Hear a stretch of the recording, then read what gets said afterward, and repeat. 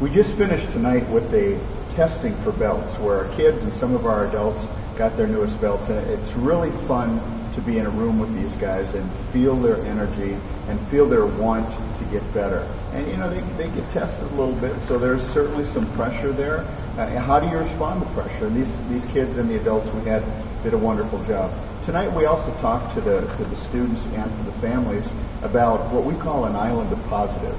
In our karate school, when kids come in there, when adults come in, we want them to feel that there's something very special going on here.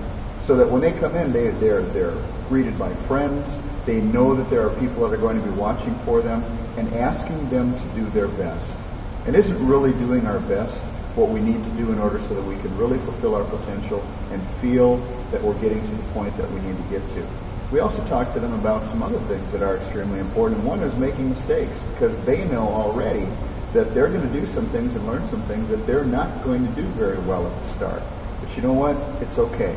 And once they learn that it's okay to get out and make a mistake, the important thing is after the mistake, brush yourself off, get back up, and do it again.